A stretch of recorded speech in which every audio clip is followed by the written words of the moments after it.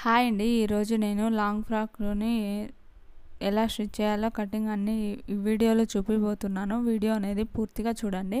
అప్పుడే మీకు అర్థమవుతుంది. ఇది యోగ్ పార్ట్ కోసం లెంత్ వచ్చి ఫిఫ్టీన్ ఇంచెస్ తీసుకున్నానండి. ఇది బ్లౌజ్ పీసు కాటన్ వేసుకుంటున్నాను నేను యోగ్ పార్ట్ వరకు.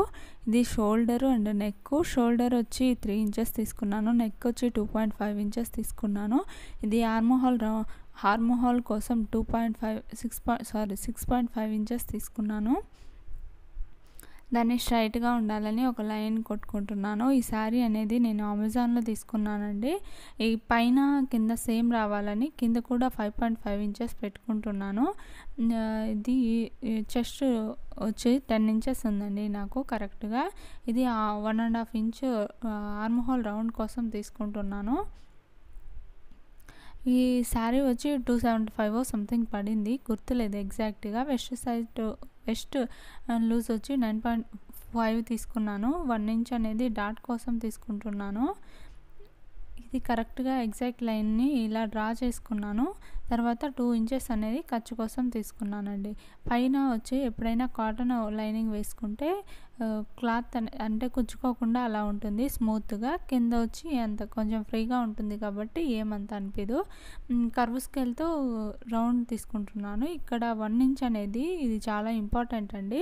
ఇలా కుట్టడం వల్ల నడుం దగ్గర అనేది హెచ్చు తగ్గులు రాకుండా కరెక్ట్గా ఉంటుంది.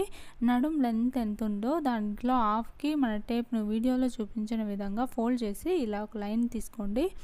ఇది పాటించడం వల్ల నా యోగ్ పార్ట్ దగ్గర లైన్ అనేది కరెక్ట్గా వస్తుంది. కిందికి పైకి రాకుండా ఇక్కడ రౌండ్ కోసం నెక్ రౌండ్ కోసం నేను ఇలా చేశాను. నెక్ లెంత్ వచ్చి టూ పాయింట్ నెక్ లెంత్ వచ్చి సిక్స్ ఇంచెస్ తీసుకున్నాను. విడ్త్ వచ్చి టూ పాయింట్ ఫైవ్ తీసుకున్నానండి. కింద వచ్చి త్రీ ఇంచెస్ తీసుకున్నాను. ఇలా వీడియోలో చూపించిన విధంగా కట్ చేసుకోండి. కట్ చేసుకొని ఎక్స్ట్రా కరెక్ట్గా ఎగ్జాక్ట్గా మార్క్ చేసిన దగ్గర ఒక డాట్ పెట్టుకోండి. మనం కుట్టేటప్పుడు మళ్ళీ కొలుచుకోకుండా ఒక పని అయిపోతుంది. ఇవి డాట్స్ కోసమని నేను ఇలా డాట్స్ పెడుతున్నానండి. ఇలా పెట్టుకోవడం వల్ల మనకేంటంటే ఈసారి కుట్టేటప్పుడు మళ్ళీ మెజర్ చేసుకోకుండా కరెక్ట్గా వస్తుంది. అందుకని ఇది వచ్చి శారీ అండి. శారీ యోక్ పార్ట్కి కట్ చేసుకుంటున్నాను. కొద్దిగా సిల్క్ కాబట్టి కొంచెం ఎక్స్ట్రానే తీసుకుంటున్నాను. ఎప్పుడైనా అంటే ఫోల్డింగ్లో అలా ఎక్కువ తక్కువ అయినా కానీ యూజ్ అవుతుంది. మీరు కూడా రెండు ఒక ఎగ్జాక్ట్గా తీసుకోకుండా ఒకటి ఎక్కువ ఒకటి తక్కువ తీసుకోండి. లైనింగ్ పార్ట్ అనేది కరెక్ట్గా తీసుకొని ఒరిజినల్ పీస్ అనేది కొంచెం ఎక్కువగా తీసుకోండి. ఇది బాటమ్ పార్ట్కి త్రీ ఇంచెస్ అండి లైనింగ్ తీసుకున్నాను. ఈ three inches half half back and ఫ్రంట్కి సమానంగా ఉండేలాగా కట్ చేసుకుంటున్నాను. ఇది వచ్చి శారీ అండి. ఫ్రిల్ పెడుతున్నాను. అందుకని ఆ శారీ కట్ చేసి పక్కన పెట్టుకున్నాను. ఇవి వచ్చి హ్యాండ్స్ కోసం. ఇది నేను అంబ్రిల్లా హ్యాండ్స్ పెట్టుకుంటున్నాను. నాకు eight inches eight inches length కావాలని ఎయిట్ ఇంచెస్ దగ్గర మార్క్ చేసుకుంటున్నాను. ఇలా వీడియోలో చూపించిన విధంగా క్రాస్గా ఫోల్డ్ ఫోల్డ్స్ వేసుకొని మార్క్ చేసుకున్నానండి. ఇలా మార్క్ చేసుకున్న తర్వాత ఎగ్జాక్ట్ మిడిల్ పార్ట్లో ఒక డాట్ అని పెట్టుకొని దాని నుంచి కిందికి సిక్స్ ఇంచెస్ తీసుకుంటున్నాను.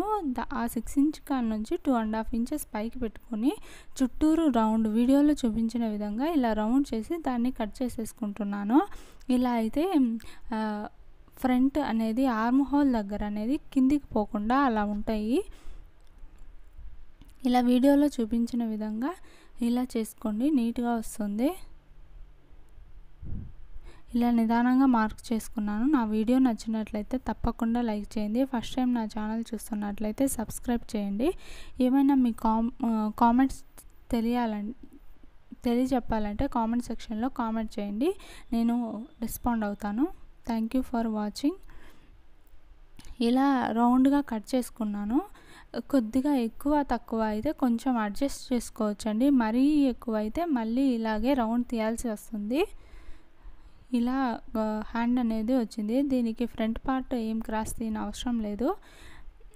ఇవి వచ్చి ఇప్పుడు ఫ్రంట్ పార్ట్ బ్యాక్ పార్ట్ కుట్టేది ఏది ఇలా కుట్ ఇలా అంతా చేసుకొని రౌండ్ చుట్టూరు కుట్టేసుకున్నాను.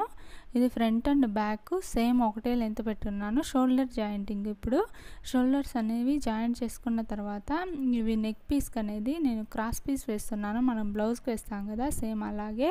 ఇలా వేసిన తర్వాత హ్యాండ్స్ అనేది జాయింట్ చేసుకుంటున్నాను. ఇది వచ్చి కింద ఫ్రిల్ పెడతాం కదా మనము.